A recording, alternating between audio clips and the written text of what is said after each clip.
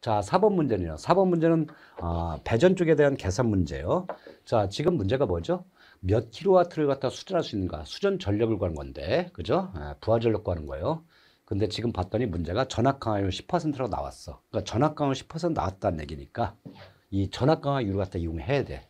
자, 그럼 우리가 첫 번째 전압 강화는 우리가 전압 강화 지금 문제가 3상 3서식이니까 전압 강화는 어떻게 돼요? 식이 전압 강화는 루트 3 i의 어, r 코사인 세타 플러스 x의 사인 세타.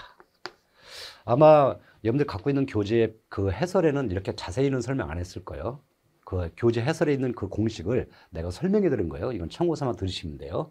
자, 그 다음에 이 식에서 우리가 P는 수전질력 P는 3상일의 루트 3 VR의 I의 코사인 세타죠. 그럼 여기서 I는 I는 거꾸로 루트 3 VR 코사인 세타분의 PR이 된단 말이에요. 그럼 여기 지금 우리가 찾아낸 요 전류를 여기다 대입해 보세요. 그럼 루트 3에 I 대신에 우리가 지금 구했던 거 루트 3 VR 코사인 세타분의 어, PR이 되는 거고 그 다음에 괄호에 나머지 R 코사인 세타 플러스 X의 사인 세타 그럼 요식을 정리하면 어떻게 되겠어요? 요식을 정리하게 되면 일단 분자 있는 루트 3과 분모 루트 3 약분되고 그쵸? 아, 그러면 분모는 뭐 남아요? VR 요 코사인 세타는 괄호 하나 집어넣을게요 그 다음에 위에가 PR 되는 거고 자 코사인 세타 들어가면 첫 번째 항은 R 되는 거고요 두 번째 항은 X의 코사인 분의 사인이니까 어, 바로 탄젠트 탄젠트라고 써도 되고 그냥 코사인 분의 사인 써도 괜찮아요 아. 자 그러면 전압강화 구했으니까 문제에서는 전압강화 아니고 전압강화율이야 전압강화율은 입실로는 기본 정의가 뭐죠? 전압강화율은 얘는 수전단 전압에 대해서 어, 위에서 구한 전압강화의 비율 100% 비율 그죠? 예. 그러면 위에 요 구한 전압강화를 딱 그대로 여기다 대입하면 되잖아요 그러면 수전단 전압분의 전압강화 아, 위에가 VR, PR 그 다음에 가로에 R 플러스 X의 탄젠트 세타가 될 테고 곱하기 100% 그럼 요식을 정리하면 어떻게 되겠어요? VR, VR 얘가 분모니까 밑으로 내려오면 바로 VR의 제곱이 되는 거고 위에가 PR 되는 거고요 가로에 R 플러스 X의 탄젠트 세타 곱하기 100% 자, 근데 문제에서 이 전압강을 갖다 구했는데 문제선 뭘 구하는 거죠? 문제선 요 수전 전력 이걸 구해달라는 얘기예요. 따라서 이 문제에 맞는 최종적인 어, 필요한 공식은 뭐겠어요? 수전 전력 PR이 되는 거죠. PR 하면 어떻게 되겠어요?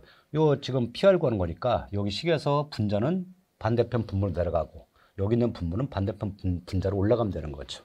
따라서 갖다가 쓰면 R 플러스 X에 탄젠트 세타가 되고 곱하기 100%까지 100까지 그 다음에 분모에 있는 VR 제곱 올라가니까 전압강화율에다가 VR의 제곱 곱하면 되는 거죠. 자, 우리 풀이해 보면 요 공식 갖고 이용했을 거야. 그러니까 요 공식이 어떻게 나온 거냐? 이렇게 쭉 나온 거죠. 그죠? 여러분들 요 참고 삼아 아, 요 내용 듣고 필게 두시면 돼요. 자, 여기다 그대로 대입하면 되잖아, 이제. 그대로 대입하게 되면 전압 강화율이 문제에서 10%라고 그랬고 수련단 전압은요. 수전단 전압이 지금 문제 수전단의 성간 전압 60kV 단위가 60kV니까 아 6만 6만 볼트 그죠? 어, 기준 단위는 볼트로 환산해 줘야 돼요. 제곱 그 다음에 밑에 분모 R R 값이 문제에서 15미고 그 다음에 X X가 문제에서 25미야. 그 탄젠트 탄젠트는 코사인분의 사인이니까 문제 준 영률이 0.8 코사인 0.8에서 사인은 몇이죠? 0.6이죠.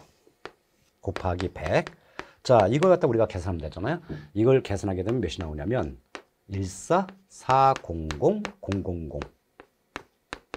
와트예요, 와트. 그죠? 근데 지금 문제에서는 와트를 물어본 게 아니고 킬로와트로 물어봤잖아요. 킬로와트니까 여기서 공세개 빼버려야죠. 그럼 14,400 킬로와트 값이 나올 거예요. 그죠? 에, 최종적인 정답은 이 내용. 그러니까 어, 풀이 과정 자체는 조금은 어, 아주 간단하지 않지만은 우리가 기본적으로 알고 있는 전압강하, 전압강하율 그 의미만 정확히 알고 있으면 이 문제가 그렇게 어려운 계산 문제는 아니죠. 그죠? 네, 이 정도면. 자, 문제 5번은요. 문제 5번은 어, 배전술의 주상변압기. 주상변압기가 뭐예요? 한마디로 주상 변압기는 전봇대 위에 있는 변압기야.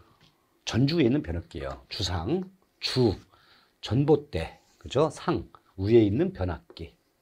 우리가 어, 길을 가다 보면 이런 주상 변압기 볼 수가 있어요. 전봇대 지나가면서 전봇대 위에 보세요. 이 주상 변압기가 반드시 있을 거야, 그죠? 예. 그러면 여기 안에 이렇게 어, 변압기가 있는 거예요. 그러면 이쪽이 뭐야? 이, 이쪽이 1차 측, 즉 고압 측이야.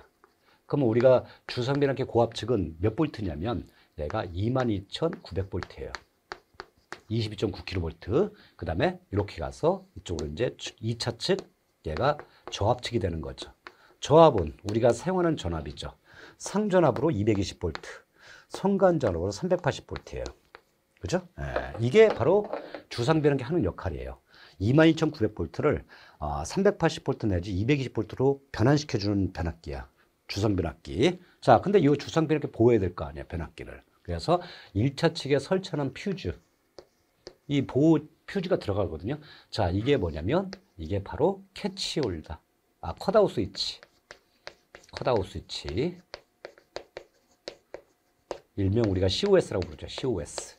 그 다음에 2차 측에 설치하는 퓨즈. 자, 2차 측에 설치한 퓨즈. 저압 측에 설치한 퓨즈.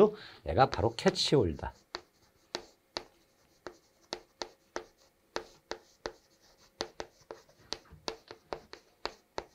catch holder라는 퓨즈죠. 따라서 주상변압기 보호하기 위해서는 1차 측에 컷아웃 스위치라고 하는 퓨즈를 2차 측에는 catch holder라는 퓨즈를 설치해서 어, 바로 변압기를 보호해야 된다. 따라서 어, 맞는 조합은 뭐예요? 고압 측 cut out switch, 저압 측 catch holder. 주상변압기의 보호장치 두 가지 요거는 반드시 알아두셔야 돼요.